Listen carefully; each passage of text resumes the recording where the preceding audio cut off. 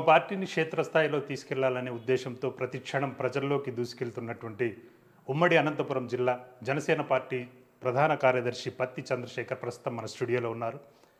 ఆయనతో ఆయన life style అదేవిధంగా రాజకీయ ప్రస్థానం దాంతోపాటు పార్టీ భవిష్యత్ ప్రణాళికల గురించి అడిగి తెలుసుకుందాం. నా నమస్తే. నమస్తే అండి. బాగున్నారా? బాగున్నాం. మీరు ఎక్కడ జననం? మీరు పుట్టడం ఇక్కడ మీ సొంతం ఓన్ అంటే మీ ఊరు మీ తాత ముత్తాతల నుంచి ఉన్నటువంటి ఊరు. ఎక్కువ అనంతపురం కాకుండా మీరు అనంతపురంలో ప్రజెంట్ ఉన్నా కూడా పుట్టపర్తి నియోజకవర్గంలో ఎక్కువ తిరుగుతూ ఉంటారు. ఇక్కడ ఉన్నటువంటి మీకు అనుబంధం ఏంటి? గతంలో చూసుకుంటే ఇప్పుడు ఉంటే పుట్టపర్తి సత్యసాయి జిల్లా అయింది. గతంలో ఇది గోరంట్ల నియోజకవర్గానికి సంబంధించి ఉండేది. మా నేటివ్ వచ్చి ఇక్కడే పుట్టపర్తికి ఆనుకొని ఉన్న బుక్కపట్నం. దాదాపుగా ఐదు కిలోమీటర్ పది కిలోమీటర్ దూరంలో ఉన్న బుక్కపట్నము. బుక్కపట్నం హెడ్ క్వార్టరా? Bukkapatnam head quarters. మేము. పుట్టి పుట్టడము పెరగడము అంతా బుక్కపట్నం గ్రామంలోనే జరిగినది. మా పూర్వీకులది అగ్రహారం. బుక్కపట్నం మండలం. బుక్కపట్నం మండలం పాందుర్తి దగ్గర ఉన్న అగ్రహారము.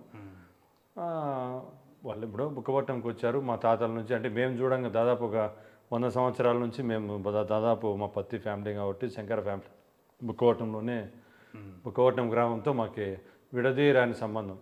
అప్పటి నుంచి ఇప్పటిదాకా కూడా మేము విద్యా సంస్థలు పెట్టిన బు- బుక్కపట్నంలోనే మేము ఈ రోజుకి. అనంత పేరు ఉండేది అనంతపూర్లో అయినా కూడా బుక్కపట్నం మీ ప్రైమరీ ఎడ్యుకేషన్ ఎక్కడ? ప్రైమరీ ఎడ్యుకేషన్ అంతా మా నాన్నగారు ఉద్యోగరీత్యా హిందూపూరు మడకశిర కదిరి ఈ ఏరియా అంతా తిరుగుతూ ఏం జాబ్ చేసేవారు నాన్నగారు? నాన్నగారు ఎలక్ట్రిసిటీ డిపార్ట్మెంట్లో జాబ్ చేసేవారు. పత్తి చలపతి పత్తి చలపతి గారు. వివిధ హోదాల్లో వర్క్ చేశారు. అట్లా ఉద్యోగరీత్యా అతను చేసుకుంటూ అనంతపూర్ ట్రాన్స్ఫర్ అయినప్పుడు మమ్మల్ని చదువు కోసమని పంతొమ్మిది వందల డెబ్బై ఎనిమిదిలో అనంతపూర్లో ఫ్యామిలీ పెట్టి అక్కడ చేరడం జరిగినది. ఇంకా మా చదువుల కోసమనే ఫాదర్ అనంతపూర్లోనే ఫ్యామిలీ పెట్టి అక్కడ చే చేయడం అంటే మీ హై స్కూల్ స్థాయి అంతా అక్కడ అనంతపురం మొత్తం మాకు కిండర్ గార్డెన్ నుంచి అంటే ఇప్పుడు కిండర్ గార్డెన్ అంటారు అప్పుడు ఎల్కేజీ యూకేజీ అంటే మా ఎల్కేజీ నుంచి దాదాపు హై స్కూల్ కావచ్చు. మొత్తం అంతా అనంతపురం లిటిల్ ఫ్లవర్ స్కూల్లోనే విద్యాభ్యాసం. విద్యాభ్యాసం అంతా అనంతపురం లిటిల్ ఫ్లవర్ స్కూల్లోనే జరగడం. ఓకే. మీకు ఆ కాలేజ్ స్థాయిలో కానీ స్కూల్ స్థాయిలో కానీ ఉన్నటువంటి స్నేహితులు ఇప్పటికి కూడా బాగా క్లోజ్గా ఉన్నటువంటి మొత్తం అనంతపురంలో ఉన్నదంతా అంతా మొత్తం అంతా మా స్నేహితులు అండి. ఆల్మోస్ట్ ఆల్ మేము ఇప్పుడు నలభై ఎనిమిది నలభై తొమ్మిది సంవత్సరాల వయసు. మొత్తం మా ఫ్రెండ్స్ అంతా ఎక్కడున్నా కానీ అనంతపురంలో ఆల్మోస్ట్ ఆల్ అందరూ అనంతపురంలోనే ఉన్నాం. కొంతమంది చదువు కోసం అని చెప్పి విదేశాలకు వెళ్ళి అక్కడే స్థిరపడిన వాళ్ళు ఉన్నారు. బెంగళూరు హైదరాబాద్లో ఉన్నారు. కానీ ఎప్పుడు వచ్చినా మేము అనంతపురంలో అందరూ విరివిగా కలుసుకుంటాను మా మా ఆల్మోస్ట్ ఆల్ మా మిత్ర బృందం అంతా అనంతపురంలోనే ఉన్నారు. Okay okay. మీరు మ్యారేజ్ ఎక్కడ చేసి నేను పెళ్ళి చేసుకునేది కదిరిలో. కదిరి టౌన్లో చేసుకున్నాను మ్యారేజ్. పంతొమ్మిది రెండు వేల నాలుగులో మ్యారేజ్ అయింది మాకు. పిల్లలు? పిల్లలు ఇద్దరండి. ఇద్దరు పిల్లలు ఒక అమ్మాయి ఒక అబ్బాయి. వాళ్ళ స్కూలింగ్ అంతా కూడా అనంతపురి.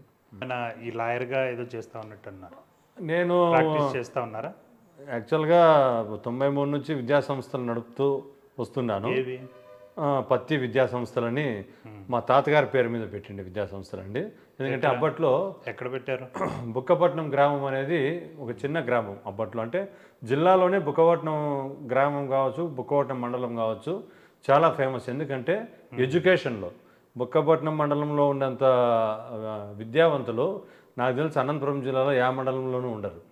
ఎందుకంటే అది ముందు నుంచి ఉండే నానుడి. నేను చెప్ప నేను మా ఊరు గురించి గొప్పగా చెప్పుకోవడం కాదు కానీ ఎవరిని అడిగినా కూడా చెప్తారు. ఎందుకంటే ఇక్కడి నుంచి అంతమంది మన టీచర్స్ అయితే ఆ, ఎక్కడ మన జిల్లాలో ఎక్కడన్నా చూడండి టీచర్స్ అంటే బుక్కపట్నం టౌనా మండలం అంతానా? బుక్కపట్నం టౌన్ నుంచి ఎక్కువ. మండలం కంటే కూడా బుక్కపట్నం టౌన్ నుంచి ఎక్కువ. జిల్లాలో చాలా మంది ఇప్పుడు టీచర్లు అంతా ఉన్నారు. వాళ్ళు చాలా మంది ఎవరన్నా అడగండి చెప్తారు. బుక్కపట్నం అంటే బుక్కపట్నం అంటే అది విద్యకి చాలా ఫేమస్ ఆ ఊరు. అక్కడ నుంచి చాలా మంది విద్యావంతులు వచ్చారు. ఈవెన్ బుక్కవటం మండలం నుంచి కూడా చాలా మంది విద్యావంతులు పై దశకు కూడా వెళ్ళారు. ఆల్మోస్ట్ దాదాపు ఐఏఎస్ ఐపీఎస్ స్థాయికి కూడా. ఓకే ఇప్పుడు రాజకీయ పర- పరంగా ఆలోచన చేస్తే మీరు అంతకుముందు గతంలో మీ నాన్నగారు పత్తి చలపతి గారు ప్రజారాజ్యంలో పనిచేశారు. రాష్ట్ర ప్రధాన కార్యదర్శి రాష్ట్ర ప్రధాన కార్యదర్శిగా పనిచేశారు. లాస్ట్ ఎలక్షన్స్లో జనసేన పార్టీ తరపున పుట్టపర్తి కాన్స్టిట్యున్సీలో అసెంబ్లీ అభ్యర్థిగా పోటీ చేశారు. ఓకే. నెక్స్ట్కి ఏమన్నా మీ ఫ్యామిలీకి వస్తుంది మీ నాన్నగారే పోటీ చేస్తారా? అవకాశం ఇస్తే మీరేమన్నా? లేదండి నాన్నగారు వయసు రీత్యా ఇప్పుడు ఎందుకంటే ఆయనకి డెబ్బై ఏడు సంవత్సరాలు. యాక్చువల్ లాస్ట్ టైం కూడా ఫాదరే మేము పోటీ చేయాల్సింది ఇంకేమిటి పవన్ కళ్యాణ్ సారే పిలిచి ప్రజారాజ్యం అప్పుడు పార్టీలో టికెట్ ఇవ్వలేకపోయాము. ఈసారి చలపతి గారు కంపల్సరీ మీరు పోటీ చేయండి అని నాన్నగారిని పిలిచి బీఫామ్ ఇవ్వడం జరిగినది. కానీ నా ఆరోగ్యరీత్యా ఈసారి నాన్నగారు పోటీ చేయడం లేదు. వృత్తి ఆ, వయసు రీత్యా. కాబట్టి మేమే ఇప్పుడు పోటీ చేయడానికి సంసిద్ధులై ఉన్నాం పుట్టపర్తిలో. ఎందుకంటే పుట్టపర్తి ఎమ్మెల్యేగా చే ఉండాలి అనేది ఒక జనసేన పార్టీని పుట్టపర్తిలో ఆ, అట్టడుగు స్థాయి నుంచి పై స్థాయి దాకా తీసుకెళ్ళి జనసేన పార్టీలో ఒక ఎమ్మెల్యే కావాలి అనేది మా జీవితకాల ఆశయం. ఆశయం ఓకే. ఆ ఆశయం ఖచ్చితంగా మాకు నెరవేరుతుందంటారా? భగవంతుడు సత్యసాయి బాబా గారి ఆశీస్సులు మా తండ్రి గారు మా తాతగారి ఆశీస్సులు కంపల్సరీగా మా ఫ్యామిలీ అండదండలు. మా ఫ్యామిలీకి ఉండే జనంలో ఉండే ఆదరణ కావచ్చు. ఖచ్చితంగా అవుతుందనే ఆశిస్తున్నాం. ఆ పైన భగవంతుని అంటే పార్టీ అవకాశం డైరెక్ట్ క్యాండిడేట్స్ ఇప్పుడు చూస్తే పొత్తులు అంటున్నారు. పొత్తుల పరంగా పోతే పుట్టపర్తి కాన్స్టిట్యున్సీ జనసేనకే వస్తుందని గ్యారంటీ ఏముంది? ఇక్కడ పొత్తులు అనేది ఇప్పటికీ అప్రస్తుతం అండి. ఎందుకంటే పొత్తులు వ్యూహాలు ఇవన్నీ మా నాయకుడు మా జనసేన పార్టీ రాష్ట్ర ప్రెసిడెంట్ పవన్ కళ్యాణ్ గారు చూస్తారు. ఇప్పటికైతే మేము పొత్తులు అనే అనేది మా మదిలో కూడా లేదు. ఎందుకంటే ఎవరైనా కానీ సొంతంగా రాజ్యం స్థాపించాలా అనుకుంటారు. పొత్తులు అనేటివి మా నాయకుడు చూసుకుంటారు. ప్రస్తుతానికైతే ఏ పొత్తులు లేవు. జనసేన సింగిల్గా పోటీ చేయడానికే మక్కువ చూపుతుంది. కాబట్టి మేము ఆ దిశగానే ప్రయాణిస్తున్నాము. ఏమైనా ఇన్ కేస్ ఏదైనా పొత్తులు ఏమన్నా వచ్చినాయంటే మా నాయకుని ఆదేశం ఇటు ఏ విధంగా అతను ఆదేశం ఇస్తాడో దాన్ని శిరసా వహించి పార్టీకి మేము మనసా వాచాకరమున కృతజ్ఞుడిని పార్టీకి పనిచేస్తూ ఉంటాం. గతంలో అనంతపురం జిల్లా ఉమ్మడి జిల్లాకి అనంతపురం జిల్లాకి మీరు ప్రధాన కార్యదర్శిగా ఉన్నారు. బాగా ఈ పుట్టపర్తి కాన్స్టిట్యున్సీ వైపు ఎక్కువ ఫోకస్ పెట్టేవారు. అదేవిధంగా జిల్లాల పునర్విభజన తర్వాత పుట్టపర్తి అంటే సత్యసాయి శ్రీ సత్యసాయి జిల్లాగా ఏర్పడింది జిల్లా కేంద్రంగా. మీరు ప్రధాన కార్యదర్శిగా ఉమ్మడి అనంతపురం జిల్లాలో ఉన్నటువంటి వ్యక్తి. ఏమైనా శ్రీ సత్యసాయి జిల్లా జనసేన పార్టీ అధ్యక్షులుగా ఏమైనా అవకాశం ఉంటుందంటారా మీకు? ఒకటండి ఇప్పుడు ఏ మనిషికైనా కూడా పార్టీలో అత్యున్నత స్థానంలో పనిచేయాలని ఒక ఆశ కోరిక ఉంటుంది. దానికి నేను కూడా అతీతుడు కాదు. ఎందుకంటే ఎవరికైనా కానీ ఒక పార్టీని దట్టు మన పవన్ కళ్యాణ్ గారు పెట్టిన పార్టీని ముందరకు తీసుకొని పోవాలనే ఉద్దేశంతోనే గతంలో రెండు వేల ఎనిమిది నుంచి ప్రజారాజ్యం పార్టీ అప్పటి నుంచి పవన్ కళ్యాణ్ ఫ్యామిలీ మా మెగా ఫ్యామిలీని మేము నమ్ముకొని మెగా ఫ్యామిలీ ఏ విధమైన మాకు ఆదేశాలు జారీ చేసినా ఆ విధంగానే చేస్తూ వస్తున్నాం. ఈ ఎస్పెషలీ పుట్టపర్తి కాన్స్టిట్యున్సీలో. కాబట్టి పుట్టపర్తి కాన్స్టిట్యున్సీలో పార్టీ మాకు ఏ పదవి ఇచ్చినా దాన్ని ఖచ్చితంగా మనసావాచ కర్మన నూటికి నూట పది పర్సెంట్ మేము దగ్గరుండి పార్టీ కోసము మా స- శ్రేయోభిలాషులు కావచ్చు మా జన సైనికులతో కావచ్చు అందరితోనూ కలిసిమెలిసి పార్టీని అత్యున్నతమైన స్థానానికి తీసుకెళ్ళాలని ఆశిస్తున్నాం. గతంలో చూస్తే పార్టీ కేవలం రాష్ట్ర వ్యాప్తంగా ఏ ఒక్క సీటు కూడా ఒకటి గెలిచినా కూడా అది వైసీపీ వైపు వెళ్ళిపోయారు. ఈవెన్ మీ పార్టీ అధ్యక్షుడు కూడా గెలిచినటువంటి సందర్భం అయితే కనిపించలేదు. అయితే ప్రస్తుతం ఇప్పుడున్నటువంటి పరిస్థితుల్లో మేము ఆంధ్రప్రదేశ్లో ఖచ్చితంగా గవర్నమెంట్ని ఫామ్ చేస్తామనేటువంటి ధైర్యంగా ప్రతి సభలో కూడా మీ నాయకుడు పవన్ కళ్యాణ్ గారు పదే పదే చెప్తా ఉన్నారు. గతంలో ఒక్క సీటు కూడా సాధించని వ్యక్తి ఇప్పుడు గవర్నమెంట్ని ఫామ్ చేస్తామనడం అది రాష్ట్రంలో సాధ్యమేనంటారా? ఒకటండి పంతొమ్మిది వందల ఎనభై మూడులో ఎన్టీ రామారావు పార్టీ పెట్టినప్పుడు కూడా అతనికి ఏం లేవు. జస్ట్ కొత్తగా పార్టీ పెట్టాడు తొమ్మిది నెలల్లో అధికారంలోకి వచ్చాడు. అంటే ఎన్టీ రామారావు గారు పార్టీ పెట్టినప్పటికీ ప్రత్యామ్నాయం లేదు. అవసరం ప్రత్యామ్నాయం అయితే ఒక పార్టీ ఉండింది అవసరం ఉండింది అంతేగాని అప్పటి పరిస్థితులు ఇప్పుడు ఉన్నాయా? అంటే అప్పటి పరిస్థితులు ఇప్పుడు ఉన్నాయనేది పరిస్థితులు అనేది ఎప్పుడు ఒక రకంగానే ఉండవు. మారుతూ వస్తుంటాయి. ఎప్పుడైతే ప్రజలు ఈ మన ఎవరైతే పాలకులు ఉన్నారో పాలకులు ప్రజల పక్షాన కాకోకుండా వాళ్ళ సొంత పక్షం చూసుకొని అధికార పక్షంలో ఉండి కూడా ప్రజలకు ఏం సేవ చేయకోకుండా వాళ్ళ సొంత ఆస్తులు కూడబెట్టుకుంటూ వారి సొంత జనానికి పనిచేస్తూ ఉంటే ఖచ్చితంగా జనంలో మార్పు అనేది వస్తుంది. ఇది తథ్యం. రావాలి కూడా. ఎందుకంటే జనం ఏం అమాయకులు కాదు. అప్పటికే సోషల్ మీడియా లేదు. అంటే నేను చెప్పేది పాత తరం ఈవెన్ జన ప్రజారాజ్యం పార్టీలో అప్పుడు కూడా సోషల్ మీడియా లేదు. కానీ ఇప్పుడు జనసేనలో దాదాపుగా యాభై లక్షల పైచులకు నెట్ యూజ్ చేసేవాళ్ళు. మా సోషల్ మీడియాలో ఉన్నారని చెప్పి జస్ట్ ఈరోజే మా నాయకుడు పవన్ కళ్యాణ్ గారు ట్వీట్ చేశారు. యాభై లక్షలు అంటే మనకు ఆంధ్రప్రదేశ్ దాదాపుగా యాభై లక్షల మంది జనసేనలో ఈరోజు సోషల్ మీడియాని ఫాలో అయ్యే వాళ్ళు యాక్టివ్గా ఉంటారు ఈ రకం చూసుకోండి. దాదాపు ఈ- ఈ యాభై లక్షల మంది ఎంత పబ్లిసిటీ చేస్తారంటే పార్టీకి? ఈ పబ్లిసిటీ అంతా ఎక్కడికి వెళ్తుంది చెప్పండి మీరే? ఇప్పుడు మీరు మిమ్మల్ని అడిగారు. కానీ ఖచ్చితంగా జనసేన పార్టీ ఒక సీట్ లేదనేది అది మీరంటున్నారేమో నాకు తెలియదు కానీ ప్రజల మనసులో మాత్రము ఈసారి జనసేన పార్టీకి పక్కాగా పట్టం కట్టాలి. ఎందుకంటే నీతివంతమైన నాయకుడు ప్రజలు అభిమానం చూరగొన్న నాయకుడు ప్రజల ఆశయాలకి తగ్గ నాయకుడు. ఖచ్చితంగా పవన్ కళ్యాణ్కి ఒక ఓటు వేస్తే మనకి న్యాయం జరుగుతుంది అని ఈరోజు ఆంధ్రదేశ్ ఆంధ్ర రాష్ట్ర ప్రజలంతా ముక్తకంఠంతో చెప్తున్నారు. ఎందుకంటే మనం చూస్తున్నాం పరిపాలిస్తున్న నాయకులు ఎవ్వరే కానీ ఏ ఏ కోశానా కూడా ప్రజలకి బాగు చేద్దామనే ఉద్దేశంతో లేరు. ఇప్పుడు రాజకీయాల్లో మామూలుగా ఇప్పుడు ఉన్నటువంటి పరిస్థితుల్లో డబ్బు లేనిదే రాజకీయం చేయడం చాలా కష్టంగా మారిపోయినటువంటి పరిస్థితులు మనం చూస్తూనే ఉన్నాం. ఇట్లాంటి నేపథ్యంలో గ్రామ స్థాయిలో జనసేన పార్టీకి సంబంధించిన వ్యక్తులు కావచ్చు మండల స్థాయిలో జిల్లా స్థాయిలో కావచ్చు బాగా ఆర్థికంగా బలోపేతమైనటువంటి నాయకులు జనసేన పార్టీలో ఎక్కువ కనిపించని పరిస్థితి ఉంది.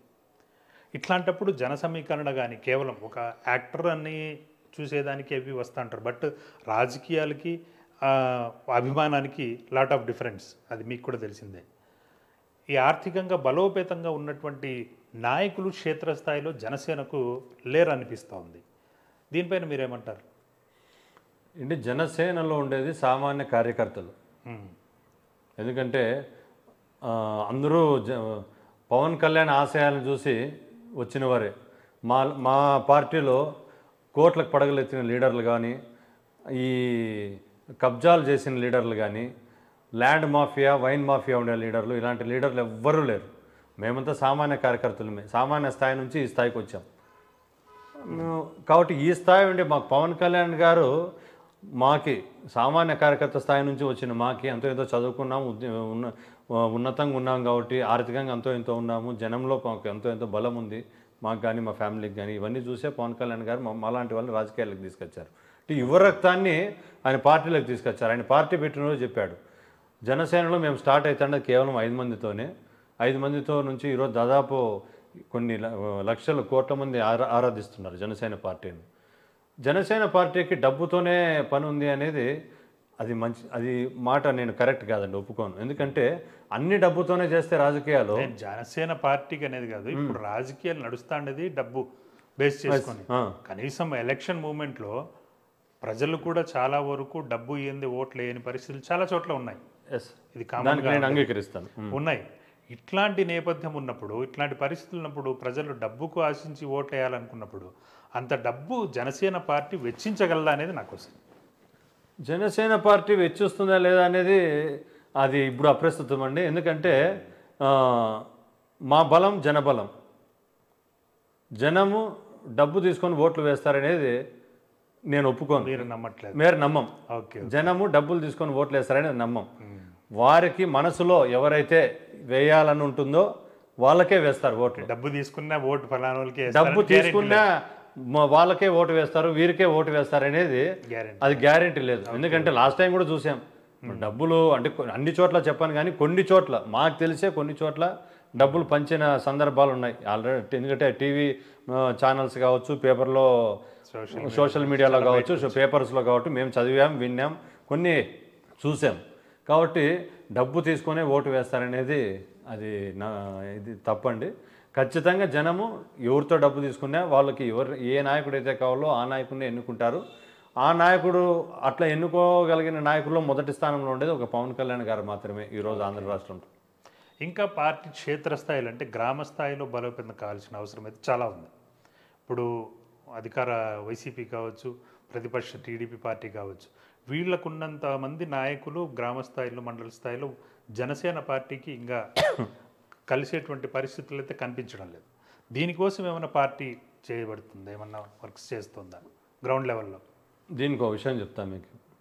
జనసేన పా ఇప్పుడు వైసీపీ పార్టీకి మనుషులు ఉన్నారంటున్నారు. వైసీపీ పార్టీకి మనుషులు ఉంటారు. ఎందుకంటే ఇప్పుడు ఒక ఎమ్మెల్యే ఉంటాడు. అధికారం. అధికారం ఉంది. ఎక్కడ అధికారం ఉంటే అక్కడ మనుషులు ఖచ్చితంగా ఉంటారు. ఎందుకంటే వాళ్ళకి కావాల్సిన పనులు కావచ్చు. వాళ్ళకి జరగబోయే పనులు ఎక్కడ ఆటంకాలు సృష్టిస్తారో ఇప్పుడు జరుగు ఉండే ప్రభుత్వం అని అట్లా భయంతో కొంతమంది వెళ్ళొచ్చు. కొంతమంది స్వార్థంతో కూడా వెళ్ళొచ్చు. రకరకాలుగా వెళ్తారు. ఈడ ఇంకా వేరే మీకు ఇంకా టీడీపీ పార్టీ కంటే అది ముందు నుంచి ఉండే పార్టీ. దాన్ని నమ్ముకొని కొంతమంది ఉంటారు దాని లబ్ధి పొందిన వాళ్ళు కానీ జనసేన పార్టీ ఇంతవరకు అధికారంలో లేదు ఎప్పుడే కానీ అధికారంలో లేని పార్టీకి మనుషులు రావడమే గొప్ప. అలాంటిది ఈరోజు అధికారంలో లేదు. ఎక్కడ మీటింగ్ పెట్టినా మేము కనీసం అంటే ఒక టీ తాగకపోయినా ఒక టీ పోపించే స్థాయిగా ఉండే నాయకులు లేని చోట కూడా జనము ఉప్పెనలా కదులుతున్నారు. మనమే చూసాం. పుట్టపర్తికి మా సార్ దాదాపుగా రెండు సార్లు వచ్చారు. కొత్త చెరువు నడి సంద్రం అయిపోయింది. అవును. ఒక సముద్రం జనసంద్రం. కొత్త చెరువు నడిబొడ్డున జనసంద్రం ఏర్పడింది ఆ రోజు. రెండు సార్లు వస్తే రెండు సార్లు అలాగే అయింది. బిర్యానీ ప్యాకెట్లు ఇస్తే వచ్చిన వాళ్ళు కాదు వాళ్ళు మందు పోస్తే వచ్చిన వాళ్ళు కాదు. అంటే ఒక జనసేన పార్టీ నాయకుడిగా అనుకోకున్నప్పటికీ కాకుండా ఒక సీనీ హీరో హీరోగా చాలా మంది లైక్ చేస్తారు ఆయన. అది సినీ ఆ ఉద్దేశంతో వచ్చిండొచ్చు కదా. కాదండి ఇప్పుడు సినీ హోదా అనేది అయిపోయింది. అది అది- ఉంది కాదను. నేను ప్రజల గుండెల్లో నేను రాజకీయం వేరే రాజకీయ అభిమానం వేరే సినీ హోదా అభిమా- వేరే నేను సినీ అభిమానం వేరే. అది- ఆ సినిమా హీరోని చూడాలనే ఆ- ఆ దా- ఆలోచనతో వచ్చిండొచ్చు కదా గతంలో కూడా ఇట్లాంటి పరిస్థితులు చాలా జరిగాయి. గత ఎన్నికల ముందు కూడా. బట్ ఓటమిని అయితే చవి చూశారు. అయితే ఇప్పుడు ఉండేటువంటి పరిస్థితుల్లో ఖచ్చితంగా మేము రాష్ట్రంలో ఏదో ఒక స్థానంలో నిలబడగలుగుతామని ఒక ధైర్యంతో పవన్ కళ్యాణ్ గారు ఎందుకు చెప్తా ఉన్నారు? దాని వెనక ఉన్నటువంటి రహస్యం ఏంటి? దీనికి ఒకటేనండి. ముఖ్యమైన కారణం ఏమంటే మీరు అన్నారు సినిమా స్టార్ అని. సార్ సినిమా స్టారే. నేనే ఒప్పుకోను. ఈ రోజుకి భారతదేశంలోనే number one hero. Highest remuneration తీసుకునే హీరో. అంత క్రేజ్ ఉండే హీరో ఎవరు లేరు.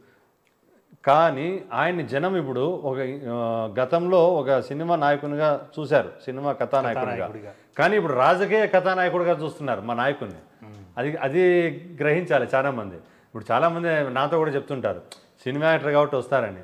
ఆ రోజులు పోయాయి. ఇప్పుడు కేవలం ఆయన్ని సినిమా కథానాయకుడు కాదు రాజకీయాల్లో ఇప్పుడు ఉండే రాజకీయ పార్టీలు కన్నిటికీ ఒక పెద్ద కథానాయకుడిగా చూస్తున్నారు మా నాయకుడిని రాష్ట్రానికి కాబోయే నాయకుడు రాష్ట్రానికి కాబోయే ముఖ్యమంత్రి పవన్ కళ్యాణ్ అనే ఉద్దేశంతోనే జనం వస్తున్నారు. కానీ ఒక సినిమా హీరోగా ఆయన చూద్దామనే ఆతృత లేదండి. ఎందుకంటే సినిమా హీరో అనేది ఉంది. నేనేం కాదన్ను. కానీ ఇప్పుడు వస్తాండే జనం అంతా కేవలము జనసేన పార్టీని చూసి పవన్ కళ్యాణ్ గారి ఆశయాలను చూసి ఎందుకంటే మీరే చూస్తున్నారు. ఉద్దానం సమస్య ఆయన తీర్చిండేది. రూలింగ్ గవర్నమెంట్లో లే వాళ్ళు చేయలేని పని ఆయన చేశారు. రా ఆయన సొంతంగా సంపాదించిండే డబ్బులు సినిమా చేస్తే ఆయనకి ఎన్నో కోట్లు వస్తాయి. ఆ డబ్బు తీసుకొని సొంతంగా అతను చెమట ఓర్చి సంపాదించిన సొమ్మును తీసుకొని వచ్చి కౌలు రైతులకి కౌలు రైతులకు ఇవ్వాల్సిన పని ఏముందండి? అది ప్రభుత్వం ఉంది దానికి ప్రభుత్వం చూడాలి. అలాంటి ప్రభుత్వం పట్టించుకొని సమస్యని ఈరోజు మా నాయకుడు తన భుజానికి ఎత్తుకొని అది మేమిచ్చే అమౌంట్ లక్ష రూపాయలు అనేది అది చిన్నదో పెద్దదో అది ప్రజలకు తెలుసు. కానీ అంతగా తను విజయవాడ నుంచి వచ్చి సపరేట్ ఫ్లైట్ వేసుకొని వచ్చి ఇక్కడ వచ్చి రైతులతో మాట్లాడి వాళ్ళ కష్ట సుఖాలు విని అమ్మా నేనున్నాను మీకు అండగా. జనసేన పార్టీకి అధికారం లేదు. అయినా కూడా నేను నాకు తోచింది ఇస్తున్నానని లక్ష రూపాయలు చెక్ ఇచ్చి భవిష్యత్తులో మీ పిల్లలకు నేను ఆపుగా ఉంటాను. అట్లాంటి వాళ్ళు ఎవరైనా ఉంటే చెప్పండి. నేను సొంతంగా చదివి చదివిస్తాను వాళ్ళని చెప్పే నాయకుడు ఎవరున్నారు చెప్పండి ఈరోజు రాష్ట్రంలో? అధికార పక్షం ఉంది ప్రతిపక్షం ఉంది. రెండూ ఆర్థికంగా పరిపుష్టిగా ఉన్న పార్టీలు. వాళ్ళు చేయొచ్చు కదా పని కానీ వాళ్ళు చేయలేని పని జనసేన పార్టీ చేస్తుందంటే ప్రజల్లో ఆయనకున్న అభిమానం ఆయనకుండే భక్తి ఆయనకుండే కమిట్మెంట్. ఆ కమిట్మెంట్ చూసే ఈరోజు జనం ఈరోజు ఇంతమంది రాష్ట్ర వ్యాప్తంగా ఎక్కడ పోయినా తండోపతండాలుగా ఈరోజు జనం ఆయనకు నీరాజనాలు పెడుతున్నారంటే మా మా నమ్మకము మా బలము మా పార్టీకి అన్నీ పవన్ కళ్యాణ్. మన రాష్ట్రంలో ఉన్నటువంటి రాజకీయ పార్టీలు ఓకే ఆ వైసీపీ కావచ్చు టీడీపీ కావచ్చు చాలా వరకు ఒక డిస్కషన్ చేస్తుంటాయి ఇప్పుడు కూడా. జనసేన పార్టీ ఎక్కువగా ఆయన నాయకుడికి సంబంధించినటువంటి సామాజిక వర్గం ఎవరైతే వాళ్ళు ఉన్నారో వాళ్ళు సెలెక్ట్ చేస్తే ఎక్కువగా ఇష్టపడతా ఉంటారు. ఈ రాష్ట్ర వ్యాప్తంగా ఆయన ప్రభావం ఏమి ఉండకపోవచ్చు పశ్చిమ గోదావరి జిల్లా ఆ ప్రాంతంలో మాత్రమే ఉంటుంది. దానికి భయపడాల్సిన అవసరం లేదు అంటారు. నిజంగానే నే సామాజిక వర్గం అనేది పని చేస్తుందంటారా? సామాజిక వర్గం ఒకటే మాత్రమే పవన్ కళ్యాణ్కి ఉంటారు వెనక ఉంటారా లేదా ఓటర్ల అభిమానంతో వచ్చే అవకాశం ఉంటుందా? ఈ ఇతర పార్టీలు చేస్తున్నటువంటి ఆరోపణలు విమర్శలు ఏమైతే ఉన్నాయో అవి దాన్ని మీరు సమర్థిస్తారా? లేదండి ఇక్కడ ఒక విషయం చెప్పాలి మీకు ముఖ్యమైన విషయం. ఏ రాజకీయ పార్టీ కూడా ఒక సామాజిక వర్గంతో నెట్టుకు రావాలంటే అది అసాధ్యము అది జరగని పని. ఎందుకంటే ఆంధ్ర రాష్ట్రంలో దాదాపు ఐదు ఆరు కోట్ల పైచులకు ఏడు కోట్ల పైచులకు జనం ఉన్నారు. ఏడు కోట్ల పైచులకు అంటే అట్లానే కదా సామాజిక వర్గమే ఎక్కువ ఇష్టపడుతుంది కానీ మిగతా వాళ్ళు ఆయనకి లైక్ చేయరు అనేది ఉంది. లేదు లేదండి. ఎందుకంటే ఈరోజు పవన్ కళ్యాణ్ని అభిమానించే వాళ్ళల్లో ఎస్సీలు ఉన్నారు బీసీలు ఉన్నారు ఎస్టీలు ఉన్నారు మైనారిటీ వర్గాలు ఉన్నారు. ఈవెన్ బలిజ వర్ బలిజ వర్గీయులు ఉన్నారు కాపులు ఉన్నారు అందరూ ఉన్నారు. ఒకరనే కాదు నేను చెప్పేది. అందరూ అందరూ అభిమానిస్తేనే ఈరోజు నాయకుడు అంత నాయకుడు అయ్యాడు మా నాయకుడు. అంతేగాని ఒక సామాజిక ఒకటి పశ్చిమ గోదావరి మీరు చెప్పిండేది దాంట్లో నేను ఏకీభవిస్తా. పశ్చిమ గోదావరి తూర్పుగోదావరి జిల్లాలో కొంచెం కాపు సామాజిక వర్గం ఎక్కువ కాబట్టి ముందు నుంచి రాజకీయ చైతన్యం ఎక్కువ కాబట్టి వాళ్ళకి అక్కడ ఎక్కువగా ఉంది అభిమానం. అక్కడ కూడా ఒక కాపు సామాజిక వర్గమే కాదు ఎస్సీ ఎస్టీ బీసీ మైనార్టీ వర్గాలు అన్నింటినూ కలిపి. మాకు పవన్ కళ్యాణ్ గారు కూడా చెప్పేది కూడా అదే. కాపులు అనేవాళ్ళు పెద్దన్న పాత్ర పోషించి ఎస్సీ ఎస్టీ బీసీ మైనార్టీ వర్గాలన్నింటినీ మీరు వారి దగ్గరికి వెళ్ళి కంపల్సరీగా వాళ్ళని పార్టీలోకి చైతన్యవంతులు చేసి పార్టీ భావాల్ని వాళ్ళకి చెప్పి పార్టీలోకి తీసుకొని రండి. ముమ్మరంగా వాళ్ళని పార్టీ యాక్టివిటీ యాక్టివిటీస్లో పాల్గొనేలా చేయండి. అప్పుడైతేనే మనము నిజమైన రాజకీయ సా సాధికారత సాధించగలము. ఓన్లీ ఒక కులాన్ని నమ్ముకుంటే ఏ పార్టీ కూడా మనుగడ సాధించదు. ఇది మాత్రం పక్కా అండి. మా నాయకుడిగా ఎప్పుడు చెప్పేది మాకు. నన్ను కుల నాయకునిగా చూడొద్దండి దయచేసి అని ఇతర రాజకీయ పార్టీలు వాళ్ళ పబ్బం గడుపుకోవడం కోసం పవన్ కళ్యాణ్ మీద మాటికి మరకంటిస్తుంటారు ఇతను కాపు సామాజిక వర్గం వ్యక్తి ఇతను కాపులు ఒకటే సపోర్ట్ చేస్తారు వేరే వాళ్ళు సపోర్ట్ చేయరు అని. ఇది అబద్ధం అండి. ఎందుకంటే ఇదంతా అసత్య ప్రచారము. మా పవన్ కళ్యాణ్ గారికి ఎస్సీ ఎస్టీ బీసీ మైనారిటీ వర్గాలు అన్ని అందరూ అగ్రకులాలు కావచ్చు అట్టడుగు స్థాయిన కులాలు కావచ్చు ఏ వర్గాలైనా అన్ని వర్గాలు కలిపితేనే ఈరోజు పవన్ కళ్యాణ్ గారు. అన్ని వర్గాల నాయకులు ఆతృతగా ఎదురు చూస్తున్నారు. పవన్ కళ్యాణ్ గారిని ముఖ్యమంత్రిని చేద్దామని. వచ్చే ఎన్నికల్లో ఎటువంటి పొత్తులు లేకోకుండా పుట్టపర్తి కాన్స్టిట్యున్సీకి ఒకవేళ జనసేన పార్టీ మీకే అవకాశం కల్పించింది అనుకుందాం. అనుకున్నప్పుడు వైసీపీ పార్టీలో ఉన్నటువంటి వ్యక్తి ఇప్పుడు ఎమ్మెల్యేగా ఉన్నటువంటి దుద్దుకొండ శ్రీధర్ రెడ్డి ఉంటారా? నెక్స్ట్ వేరే వాళ్ళకి ఇస్తారా అనేది పక్కన పెట్టిన? ఆర్థికంగా బలోపేతంగా ఉన్నటువంటి పార్టీ. టీడీపీ తరపున మాజీ మంత్రి పల్లె రఘునాథ్ రెడ్డికి ఇస్తారా? వేరే వాళ్ళకి ఇస్తారా? అని వాళ్ళని ఇది అటువైపు ఇటువైపు రెండు వైపులా కూడా ఉన్నటువంటి అభ్యర్థులు ఆర్థికంగా బాగా బలోపేతంగా ఉండి డబ్బును బాగా ఎలక్షన్లో ఖర్చు పెట్టేటువంటి వ్యక్తుల మధ్య మీరు నిలబడితే ఎలా దానిలో నెగ్గుకొని వచ్చే అవకాశం ఉంటుంది? నేను మీరు ఇంతకుముందు అడిగిన ప్రశ్నకే సమాధానం ఒకటి చెప్పాను. మా బలం జనం. జనమే మా బలం. ఎందుకంటే ముఖ్యమైనది మా నాయకుడు మా బలం. ఈ మూడు మా నాయకుడు మా జనం. మీకు ఇంకో విషయం చెప్తా. పుట్టపర్తిలో ఇప్పుడు అధికార పక్షం నాయకుడు కావచ్చు గతంలో పనిచేసిన ఎక్స్ మినిస్టర్ ప్రతిపక్ష నాయకుడు కావచ్చు.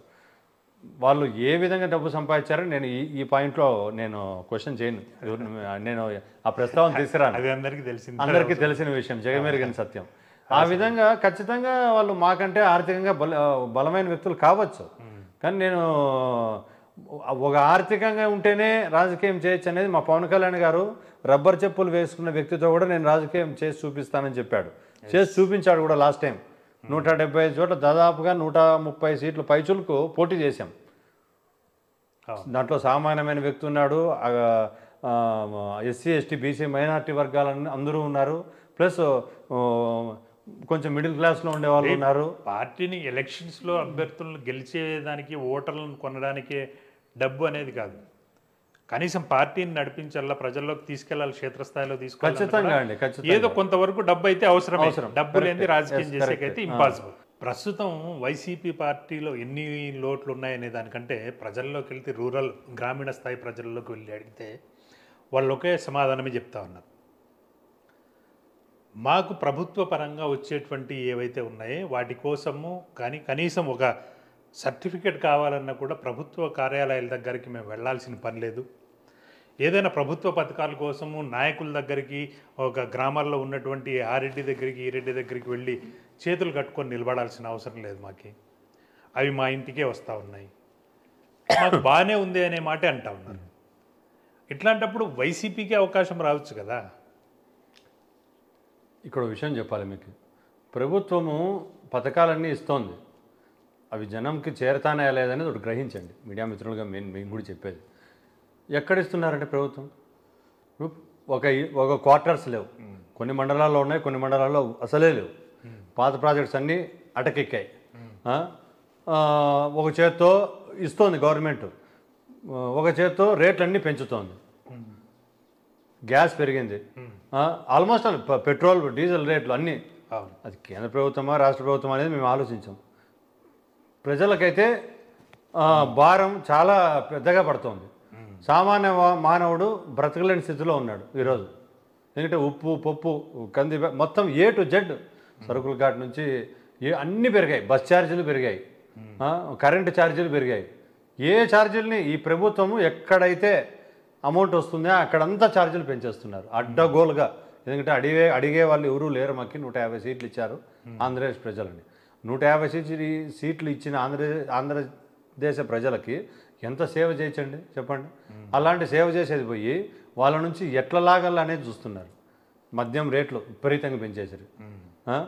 అన్నీ ఏ టు జెడ్ నేను చెప్పినవన్నీ సామాన్య మానవులు అన్నీ పెంచి ప్రజల మీద అడ్డగోలుగా సంపాదిస్తూ ప్రజలకి ఏం పథకం ఇస్తున్నారు? ఆ పథకాలు ఎంతమందికి చేరుతున్నాయి అనేది మనం గ్రహించాలి. ఈరోజు ప్రజలు చెప్పొచ్చు. చేరిన వాళ్ళు ఏమి ఓకే మాకు చేరింది అంటున్నారు కానీ చేరిన వాళ్ళ గురించి చేరని వాళ్ళు మాకు చెప్తారు. జనసేన పార్టీ నాయకులు సార్ మాకు అది రాలే ఇది రాలే అన్న మాకు అది రాలే ఇది రాలే అని. ఎంతోమందికి లాస్ట్ టైం స్కాలర్షిప్స్ కరోనా పేరు చెప్పి థర్డ్ ఫోర్త్ క్వార్టర్ ఎగ్గొట్టారు. చాలా కాలేజీల్లో సర్టిఫికెట్లు ఇవ్వలే. పిల్లలు ఎంతో ఇబ్బంది పడుతున్నారు. ఫోర్త్ క్వార్టర్ ఫీజు మాకు రాలేదని. ఎందుకంటే ఇటు యాజమాన్యం సైడ్ కూడా మనం ఆలోచించాలి. యాజమాన్యాలు కూడా చాలా ఇబ్బందులు పడుతున్నాయి. ఎందుకంటే వాళ్ళు బాడుగులు కట్టుకోవచ్చు ఇంకోటి కట్టుకోవచ్చు అన్ని రకరకాల సమస్యలు ఉంటాయి ఒక సంస్థ నడపాలంటే. రెండు విధాలా ఆలోచించాలి. ఇలాంటి టైంలో మీరు అన్నీ ఇస్తున్నాం అన్నీ ఇస్తున్నాం మేము బటన్ నొక్కుతున్నాం అందరికీ చేరుతున్నాయంటే బటన్ నొక్కడంతో మీ పని అయిపోలేదు. అవి అందరికీ చేరుతున్నాయా లేదని ఒకసారి గ్రహించండి. ఎందుకంటే ప్రజల్లో చాలా వ్యతిరేకత భావన ఉంది. వచ్చిన వాళ్ళు పది మంది అయితే మేము చేరుతున్నటువంటి వ్యక్తులు మాకు సపోర్ట్ ఉన్నారు. ఎక్కువ మందికి మేము ఇస్తామనే ధీమా వైసీపీ నాయకులు లేదండి లేదండి. ఎవరు సొమ్మిస్తున్నారండి? నేను చెప్తా. చేరుతున్నాయి వస్తున్నాను ఎవరు సొమ్మిస్తున్నారు? మీకు ప్రజలు ఇచ్చింది ఎందుకు వాళ్ళకి మంచి చేయమని చెప్పే. ఈరోజు మేము మీకు మంచి చేస్తున్నామంటే ఇంట్లో నుంచి డబ్బులు తీసుకొని రావడంలే ఇక్కడ ఎవరు. ఏ రాజకీయ నాయకుడు కూడా ఏ ప్రభుత్వ అధిపతి కూడా. ప్రజల డబ్బులు మేము కట్టిన ట్యాక్సులతోనే ప్రజల డబ్బులే ప్రజలకు పెంచుతున్నారు. అంతే. సంక్షేమ పథకాల రూపంలో. ధరలు పెంచేసి. ధరలు పెంచేసి. ఆ, ధరలు పెంచేసి అది కూడా మీ నాయకులే దాంట్లో సగానికి సగం శాతం దాదాపు డెబ్బై శాతం మీరు మింగేసి ముప్పై శాతమో పది శాతమో ఇరవై శాతమో ప్రజలకు పంచుతున్నారు అంతే. ఎవరు డబ్బు ఎవరికి పంచుతున్నారు? ఇట్ ఈజ్ యువర్ డ్యూటీ ప్రజలు మనకు ఆసనం ఇచ్చింది ఏంటి? సింహాసనము మనకు సేవ చేయమని చెప్పి. అంతేగాని వాళ్ళతో మనం డబ్బులు లాక్కోమని చెప్పే కాదు చెప్పేది. కాబట్టి ప్రజలు అమాయకులు కాదు వాళ్ళు చెప్తున్నారు. మీ మీరు మీరు మీరు డిఫెన్స్లో పడ్డారు ఈరోజు. అన్నీ ఇస్తున్నాము అన్ని ఓట్లు మనకే అన్నీ ఇస్తున్నాము అన్ని ఓట్లు మనకే అని. ఇది మంచిది కాదండి. ప్రజల్లో చాలా అసహనం స్టార్ట్ అయింది. ఎందుకంటే పది మంది మాత్రమే లబ్ధిదారులు ఉన్నారు. మిగతా తొంభై మంది లబ్ధిదారులు చాలామంది మోసపోతున్నారు. ఎందుకంటే మీరు పెట్టిన అమ్మఒడి అంటారు. అమ్మఒడి అంటే అందరికీ అంటారు. కానీ ఒకరికే వస్తుంది. మళ్ళీ వాళ్ళలో ఏదో అతను ఏదైనా ట్యాక్సీనో ఏదైనా తీసుకుంటారు లోన్ కట్టో ఇంకోటో. ట్యాక్సీ కారు ఉంటే లేదు. ఇంట్లో ఇంత కరెంటు బిల్ ఇంత వస్తే వాళ్ళకి లేదు. వాడాడు కష్టపడి ఒక చిన్న పట్టణ వేలు పడకపోయినా ఆ, బటన్ వేలు పడకపోయినా లేదు. ఐరిష్ తీసుకోకపోయినా లేదు. అది ఆధార్ లింకప్ చేయకపోతే లేదు. బ్యాంకుల్లో అకౌంట్స్ ఒక ఇది కాకపోతే లేదు. పూర్వం వాళ్ళకి ఏదన్నా డ్వాక్రా లోను ఇంకోటి లోన్లు ఏదైనా ఉంది అంటే అవి పట్టేసుకుని అట్లా కొన్ని బ్యాంకుల్లో పోయి అవి వెళ్ళిపోతున్నాయి. ఎన్ని విధాలు పోతున్నాయి మాకు తెలుసు. కానీ ప్రభుత్వంలో ఉండేవాళ్ళు కొంతమంది అంటే ఆ ప్రభుత్వంలో ఉండే సానుభూతి పరులు ఉంటారు. అంటే ఇప్పుడు ఉండే ప్రభు ప్రస్తుతం వైకాపా సానుభూతి పరులు మాకు పడిందని వాళ్ళు బ్రహ్మాండంగా ప్రచారం చేసుకుంటున్నారు అంతే. ఈ ప్రచారం అంతా బోగస్. ఎవరికి చేయడంలే నూరులో పది మందికి పోతాంటే తొంభై మంది దానివల్ల లబ్ధిదారు లేకోకుండా అయిపోతున్నారు కాబట్టి ఈ తొంభై మందే రేపు పొద్దున జనసేన పార్టీకి ఓటేసే ఓటర్లు. కాబట్టి వాళ్ళనే నమ్ముకొని వాళ్ళ పక్షాన మేము పోరాడేకి జనసేన పార్టీ ఎప్పుడు సంసిద్ధంగా ఉంటుంది. జిల్లా వ్యాప్తంగా కావచ్చు మండల స్థాయిగా కావచ్చు నియోజకవర్గం స్థాయిగా కావచ్చు సత్యసాయి జిల్లా తరఫున కూడా. అన్ని విధాలా మేము ఎప్పుడు సంసిద్ధమై ఉంటాం. జనసేన పార్టీ తరఫున ఎవరైతే లబ్ధిదారులు లేరో ఎవరైతే వీళ్ళు మోసపోతున్నారో ఇప్పుడు ఉండే ప్రభుత్వంలో వాళ్ళ తరఫున మేము పోరాడేకి ఎప్పుడూ సిద్ధంగానే ఉంటాం. Okay. Thank you very much. చాలా మంచి విషయాలు మాతో పంచుకున్నందుకు. ఈరోజు మా స్టూడియోకి వచ్చి మీ జన జనసేన పార్టీకి సంబంధించి చాలా విషయాలు మాతో పంచుకున్నారు. Thank you thank you very much thank you అండి మంచిదండి.